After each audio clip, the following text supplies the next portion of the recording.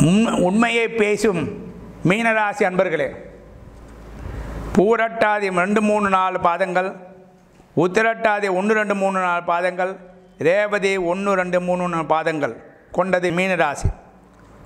இவர்களுக்கு எட்டாம் இடத்தில் குரு பகவான் வருகின்றார். அஷ்டம குருவை தொழுதால் நலம் என்று சொல்லப்படுகிறது. சனி கிரகத்தின் ஆதிபத்தியம் உள்ள மீனராசி அன்பர்களே தற்போது தங்களது ராசிக்கு எட்டாம் இடத்தில் குரு பகவான் மூணு ஒம்பது ரெண்டாயிரத்தி பதினேழு முதல் பிரவேசம் செய்கின்றார். ரெண்டு நாலு பன்னெண்டாம் இடத்தினை குரு கிரகத்தினால் பார்க்கப்படுகின்றது. எட்டாம் இடத்தில் இருக்கின்ற குருவானவர் கட்டுப்படுத்தலையும் ரோகத்தையும் கடுமையான சோகத்தையும் வெளி செல்லுதலால் உண்டான கிளேசங்களையும் மரணத்துக்கு ஒப்பான ரோகங்களையும் செய்கின்றார். மேலும் எட்டாம் இடத்தில் சஞ்சரிக்கும் குருவானவர் பல வழிகளிலும் பலம் குறைவு வியாதி பல வழியில் சிரமம் அனார்த்தம் எதிலும் ஆபத்து விவாதம் ஆகியவற்றை செய்கின்றார். புலிப்பாணி முனிவர் இதை பற்றி முட்டப்பா இன்னமொரு மொழியை கேளு.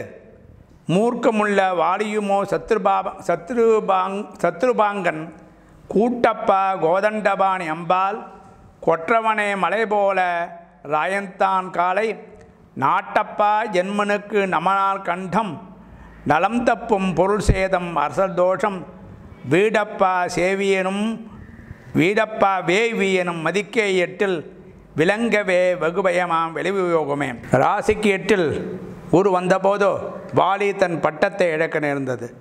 ஆனால் ராசியின் ரெண்டாம் இடத்தினை குருவால் பார்க்கப்படுவதால் நல்ல அதிர்ஷ்டமும் பண வரவும் தனவிருத்தியும் குடும்பத்தில் செழிப்பும் வாக்பலிதமும் ஏற்படும் என்பதில் ஐயமில்லை.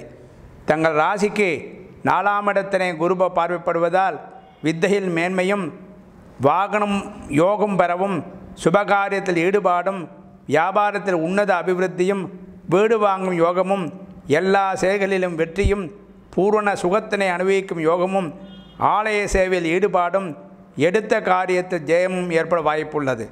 பன்னெண்டாம் இடத்தினை குரு பார்வைப்படுவதால் பாபச்செயலிருந்து விடுதலை அடையவும் நல்ல சயன சுகத்தையும் நல்ல மறுமை மறுமைப்பேற்றையும் தானம் செய்ய விரும்பும் அடைதலையும் நல்ல புண்ணியம் செய்யும் தன்மையையும் நல்ல மோட்சம் அடையும் தன்மையும் மனையாளி மூலம் நல்ல சுகத்தையும் அடையவும் குரு பகவான் அருபாலிக்கின்றார் மீனராசிக்கு ஒன்று பத்துக்கு அதிபதியாவதால் கோச்சாரத்தினால் அசௌரியங்கள் ஏற்பட்டாலும் குரு பகவான் பூர்ணமாக வழிபடுதல் மிகவும் முக்கியம். நல்ல சுகத்தினை அடைவதுடன் அசௌகரியங்களையும் நிவர்த்தி செய்யலாம்.